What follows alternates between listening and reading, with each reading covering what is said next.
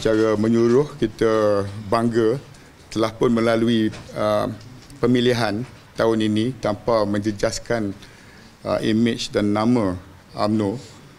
Tetapi uh, ada juga perkara-perkara yang perlu kita ambil kira. Kelemahan-kelemahan kekangan-kekangan sama ada melalui uh, pendaan perlembagaan kita atau peraturan peraturan parti dan atau tata etika parti kita.